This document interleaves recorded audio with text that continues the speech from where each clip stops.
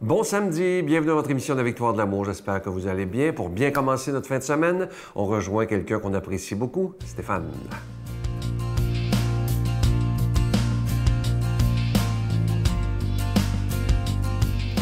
Bonjour à toi, bon samedi matin. Bienvenue dans cette chronique sur les chemins du cœur.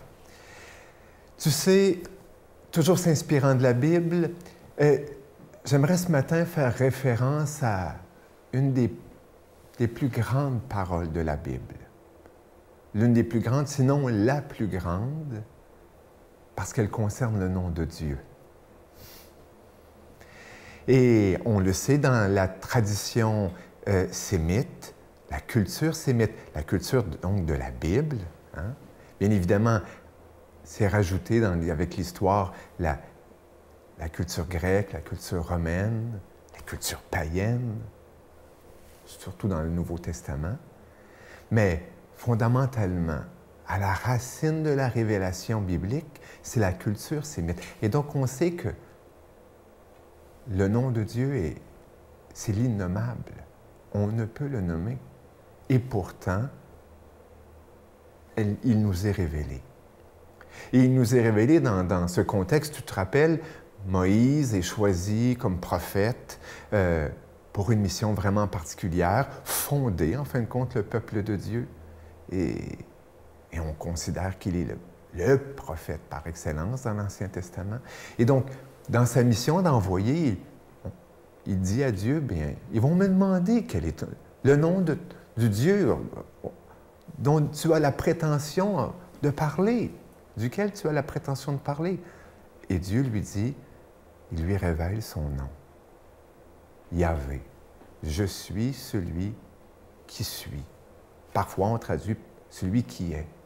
Je suis celui qui je suis. Mystère que c'est un nom-là qui définit en fin de compte le mystère de l'être. L'être par excellence, mais l'être aussi en, général.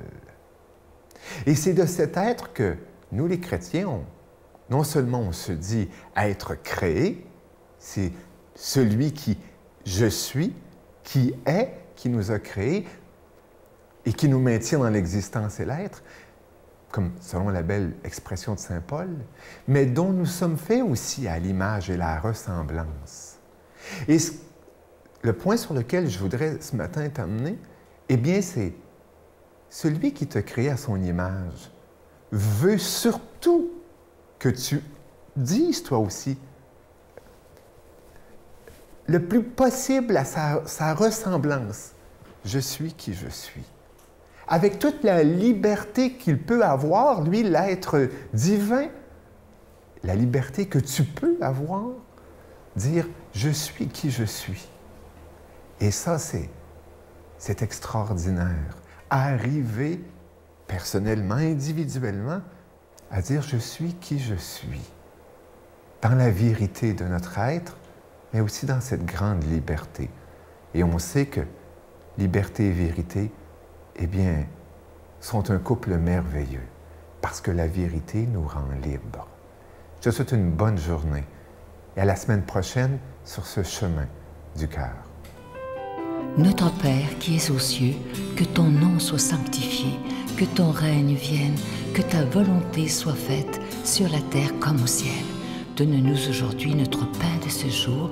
Pardonne-nous nos offenses comme nous pardonnons à ceux qui nous ont offensés.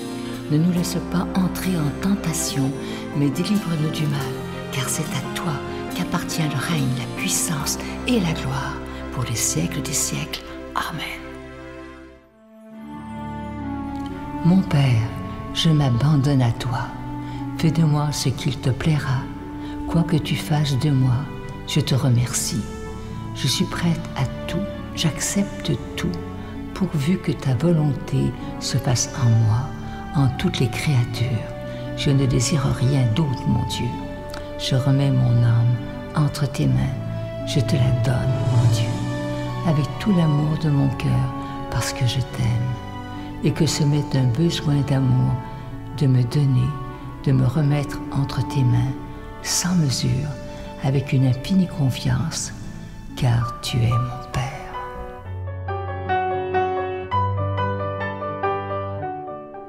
Je suis tellement content de vous parler de ce magnifique cadeau du mois pour le mois de la rentrée, le mois de septembre. Il s'agit d'une exclusivité de la victoire de l'amour. Il s'agit d'un pendentif, le pendentif de l'ictus. Vous savez que l'ictus, qui est la forme du poisson, était le premier signe des chrétiens au début, début euh, de l'Église, donc il y a plus de 2000 ans. C'était une façon, parce que les chrétiens étaient persécutés, une façon de se reconnaître entre croyants. Et ce qu'il y a de spécial dans ce bijou de, de, l'ictus de cette année, c'est qu'il y a la croix à l'intérieur. Donc vous avez dans le même bijou les deux signe des premiers chrétiens, le poisson et la croix. Le bijou, à votre demande, il est avec la chaîne et il est en acier inoxydable. Il est déjà béni. Vous le recevrez avec un don de 25 et si vous en voulez deux, avec un don de 40 Je vous donne l'adresse. La Victoire de l'Amour, case postale 120, succursale Boucherville à Boucherville, le J4B 5E6, je vous la redonne. La Victoire de l'Amour, case postale 120, succursale Boucherville à Boucherville, le J4B 5E6, également par, téléphone par carte de crédit du lundi au vendredi de 8h30 à 16h30 dans le 514-523-4433, 523-4433 ou sans frais le 1 888-811-9291. 1-888-811-9291 et aussi sur notre site Internet. Vous savez que c'est une façon très rapide, sécuritaire et efficace de faire votre don, le www.lavictoiredelamour.org. Et vous savez, je vous en parle depuis quelques temps, il y a des gens qui pensent que le site Internet, c'est simplement pour faire des dons. Bien au contraire, vous pouvez revoir toutes les émissions à l'heure qui vous convient. Alors allez faire un tour sur notre site Internet, vous en avez pour des heures et des heures. Merci de votre générosité.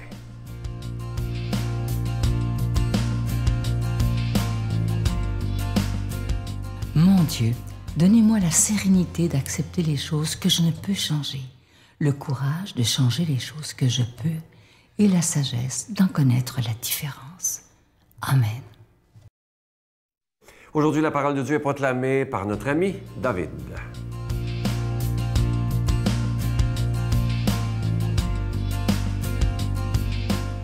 Écoutons ce que la parole de Dieu a de super beau à nous dire pour nous aujourd'hui. Bonne nouvelle de Jésus-Christ selon Saint Luc. Jésus disait à ses disciples, Jamais un bon arbre ne donne de mauvais fruits. Jamais non plus un arbre mauvais ne donne de bons fruits. Chaque arbre se reconnaît à son fruit. On ne cueille pas des figues sur des épines, on ne vendange pas non plus du raisin sur des ronces. L'homme bon tire le bien du trésor de son cœur qui est bon et l'homme mauvais tire le mal de son cœur qui est mauvais. Car ce que dit la bouche, c'est ce qui déborde du cœur. Pourquoi m'appelez-vous en disant Seigneur, Seigneur, et ne faites-vous pas ce que je dis? Tout homme qui vient à moi, qui écoute mes paroles et qui les met en pratique, je vais vous montrer à qui il ressemble. Il ressemble à un homme qui bâtit une maison. Il a creusé très profond et il a posé les fondations sur le roc. Quand est venue l'inondation, le torrent s'est précipité sur cette maison, mais il n'a pas pu l'ébranler parce qu'elle était bien bâtie. Mais celui qui a écouté sans mettre en pratique ressemble à l'homme qui a bâti sa maison à même le sol sans fondation. Le torrent s'est précipité sur elle et aussitôt elle s'est effondrée. La destruction de cette maison a été complète. Acclamons la parole de Dieu. Louange à toi, Seigneur Jésus. Plusieurs d'entre vous devez vous souvenir euh, du déluge du Saguenay en 1996. Eh, ça fait déjà 24 ans, ça va quand même vite. Vous vous souvenez euh, sûrement de toute cette eau qui dévalait et qui détruisait tout sur son passage dans cette ville de Saguenay mais probablement aussi que tu te souviens de cette image, de la fameuse petite maison blanche perchée sur son rocher d'une certaine manière et qui a résisté aux torrents qui ont tout dévasté. Cette petite maison est toujours au même endroit, à la même place et a résisté au déluge. 24 ans plus tard, elle est toujours au même endroit. On peut même la visiter si on se rend au Saguenay-Lac-Saint-Jean. Bien, cette image de cette petite maison blanche à Ville de Saguenay est pour nous, je pense, une très belle image pour nous parler euh, de cet exemple que Jésus prend de la maison bâtie sur le roc. Cette page de l'Évangile aujourd'hui, où Jésus nous parle des bons fruits qui sortent de notre cœur qui est bon, et qui parle également, on pourrait dire, du souci d'appuyer notre vie sur du solide, Jésus vient vraiment nous dire que si es la base de notre vie, c'est à l'intérieur de notre cœur, ça ne peut pas faire autrement que d'aller bien. Moi, dans cette page d'Évangile, j'apprends deux choses. D'abord, la première chose que j'apprends avec cette image de la maison bâtie sur le roc, c'est que peu importe comment que la maison, qu'est-ce que la maison a de l'air, peu importe son histoire, qu'elle ait été bien construite ou qu'elle elle soit, comment je dirais ça, moins belle, l'important, ce n'est pas ce qu'elle a l'air, ce n'est pas son histoire, c'est sur quoi elle est appuyée. On pourrait faire le parallèle dans notre vie. Peut-être que des fois, tu as eu une belle vie de famille, tu as une belle histoire, que tout va bien. Ou peut-être qu'au contraire, tu as eu bien des détours dans ta vie. Ça n'a pas toujours été facile non plus et que ton histoire de famille n'est peut-être pas aussi belle que tu t'aurais espéré. Mais sache aujourd'hui que Jésus, ce n'est pas d'abord là-dessus qu'il met son attention, mais dans le fond, c'est là où je m'appuie. Est-ce que la parole de Dieu est une base sur laquelle je peux appuyer toute mon existence? Est-ce que la présence du Seigneur dans ma vie est pour moi un fondement solide sur lequel je peux m'appuyer pour grandir, m'épanouir puis devenir une meilleure personne? Première chose que l'on constate, c'est dans le fond l'important de s'appuyer sur la parole de Dieu, peu importe mon histoire, peu importe tous les détours que j'ai vécus. Deuxième chose, moi, que Jésus m'apprend dans cet évangile, c'est que sa parole, elle dure tout le temps. Comme la petite Maison Blanche qui est encore là aujourd'hui, la parole de Dieu est encore plus solide et elle ne passera pas. Elle va toujours être là. Ça fait 2000 ans qu'on annonce la bonne nouvelle. Puis je suis convaincu que dans 2000 autres années, on parlera toujours de Jésus et de sa parole bienfaisante, de sa parole qui sauve. Oui, tu peux t'appuyer avec conviction et confiance sur le message de Jésus que l'on entend, que tu écoutes tous les jours le matin en te levant.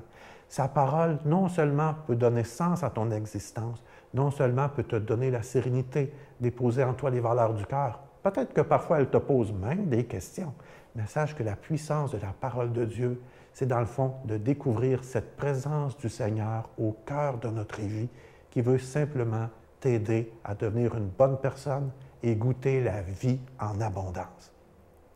Aujourd'hui, c'est la fête du Saint-Nom de Marie. Bien, Marie aussi s'est appuyée sur Jésus durant toute sa vie. Elle a été attentive à sa parole, que ce soit aux noces de Cana, que ce soit dans d'autres événements. Marie était toujours attentive à ce que Jésus disait.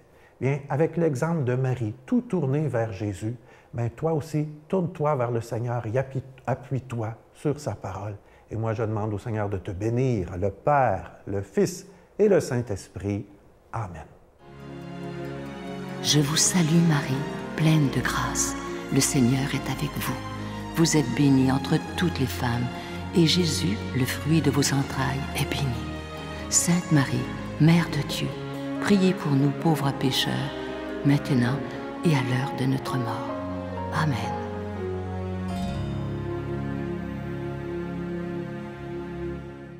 Je suis tellement content parce qu'à partir de demain, nous revenons dans nos studios habituels. Alors, je suis tellement content parce que là, nos... évidemment, on va respecter toutes les consignes de la santé publique. Tous les caméramans sont obligés d'avoir, d'ailleurs d'avoir un masque, une visière. On va tout respecter ce qu'il faut. Moi, je serai toujours à deux mètres de, de mon invité. Les chanteurs et chanteuses reviennent. Ça, je suis tellement content aussi. Et on vous prépare une 26e saison de la Victoire de l'amour. Et cette année, je vous le dis, on a de plus en plus de nouveaux collaborateurs, d'ailleurs, vous le voyez, hein? et il y en aura de plus en plus parce que je veux que l'équipe, la famille, la Victoire de l'amour grandisse, qu'on ait une grande variété et que vous soyez heureux de découvrir de nouvelles personnes qui font des homélies. Et ça, pour moi, c'est extrêmement important. Et vous m'en parlez souvent, d'ailleurs, lorsque vous m'écrivez en disant merci de nous présenter de nouvelles personnes qui font des homélies. Ça nous fait grandir et ça nous permet de grandir à la Victoire de l'amour. Je vous souhaite une belle journée et on vous attend demain en studio. Je vous souhaite une belle journée. Bye bye.